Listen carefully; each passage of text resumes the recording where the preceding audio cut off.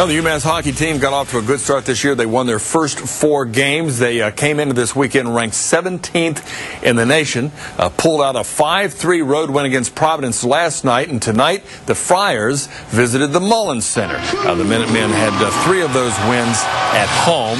First goal of the game, though, Kyle McKinnon skates inside the blue line and blasted past Paul Dainton, and uh, the Friars take a 1-0 lead. Jordan Kramer takes it inside the UMass zone in the second, puts it on net. Matt Berglund stuffs the rebound in for a 2-0 Friars lead.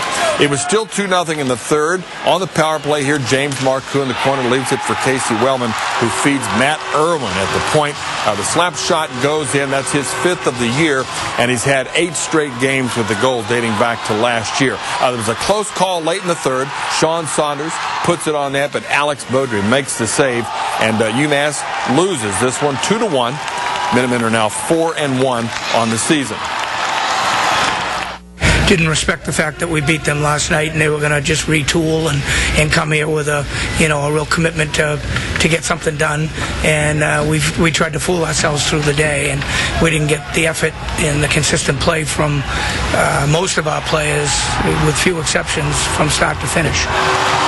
UMass will host Niagara Friday night at the Mullins Center. The uh, 19th ranked UMass football team went to Maine today to take on the Black Bears. The, uh, the Minutemen needed a win to stay in the running for some postseason ball. The weather was a factor. Armando Cuko, who's been great kicking this year, missed two field goals, and he wasn't the only one who struggled. Quarterback Kyle Havens threw a pick and uh, lost a fumble in the second quarter. Scott Woodward, a Wendell native, replaced him at halftime, and uh, he wasn't much better. He had three picks. Maine won this one 19 to 9. The Minutemen are winless on the road and uh, fall to 4 and 4 on the season. And uh, we'll have more sports after this timeout.